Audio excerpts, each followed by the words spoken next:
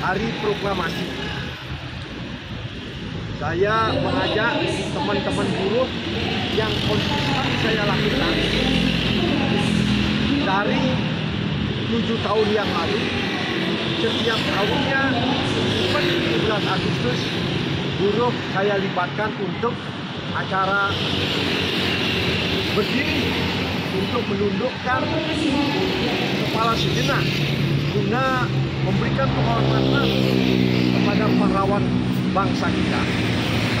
Bung Karno dan Bung Hatta sebagai bapak proklamator dan pahlawan-pahlawan yang lainnya kita tahu bahwa meraih kemerdekaan itu tidak gampang. Makanya hari ini dengan cara saya, saya mengajak buruh di samping saya ajak apel bendera membaca Pancasila dan menghormati bendera Sang Saka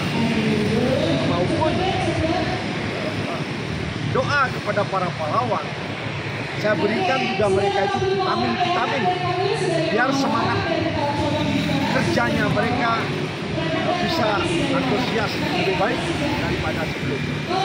Ya, saya terima kasih kepada buruh yang begitu setiap tahunnya mendukung sebagai warga negara yang baik.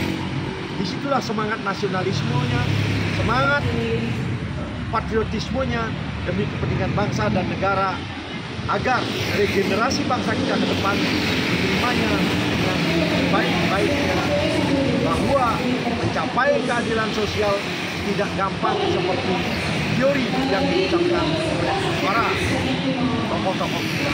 Tapi keadilan sosial praktek betul untuk kepentingan berbangsa dan kasih.